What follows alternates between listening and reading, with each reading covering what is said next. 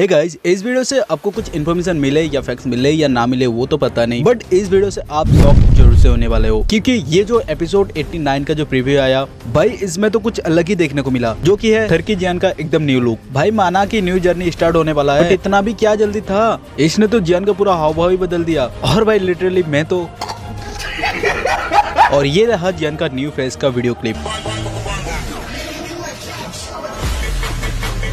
भाई कुछ बोलो या ना बोलो बट मैं ये ज़रूर बोलूँगा कि जियान जब छोटा था तब जो एंग्री और डरावना फेस था वो जैसा लगता है। उस टाइम पे जियान का भले ही पावर का लेवल नहीं था बट वो जो फेस था वो भाई बेस्ट एवर रहेगा। बट अभी के टाइम में जियान का भले और लेवल बहुत बढ़ चुका है। बट क्या भाई? ये तो एकदम लप्पू सा लग रही है। खैर छोड़ो ये तो न्यू लुक है। और जैसे तैसे करके हम लोग इसको एडजस्ट करना पड़ेगा और आगे जाकर हमें यही पसंद लगेगा क्योंकि इसके आगे जो होने वाला है वो बहुत ही खतरनाक फाइट देखने को मिलेगा। क्योंकि अभी आप लोगों ने शायद नोटिस किया है मतलब जियान जिस लेवल पे रहता है उससे कई गुना ज़्यादा पावरफुल फाइट दिखाया जाता है। तो आई होप ये आगे जाकर बेहतर लगेगा। एंड वही कुछ फैक्ट्स और स्पॉइलर है जो कि न्यू सीज़न को लेकर है। तो देखो बहुत लोगों को लग रहा होगा कि ये एक बेसिकली सेंट्रल प्लेन की तरफ़ जाने वाला है तो न्यू जर्नी होगा। तो कुछ लोग मुझे ये भी कमेंट करके पूछ रहा है क्या भाई न्यू सीज़न स्टार्ट होगा कि नहीं? तो देखो न्यू सीज़न को लेकर अभी तक कोई स्पॉयलर नहीं आया है। एंड अभी ये जो प्रीव्यू आया है इसमें भी बस एपिसोड 89 बताया गया तो मुझे नहीं लगता कि ये न्यू सीज़न होगा। एंड वही बात कुछ स्टूडियो के दिमाग जैसे कि आप लोगों को पता है कि कुछ दिन पहले बीटीडेज का रेटिंग बहुत ज़्यादा डाउन हो गया था। एंड टेंशन की टॉप थ्री डाउन में जो बीटीडेज पहले फ़र्स्ट रहा करता था, वो अभी सेकंड स्टेज पर है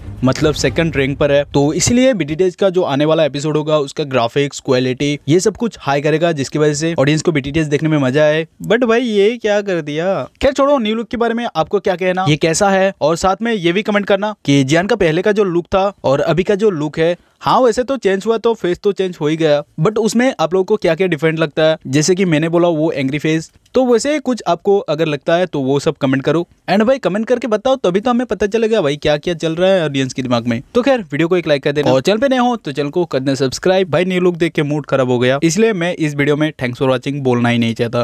थैंक्स फॉर वॉचिंग अबे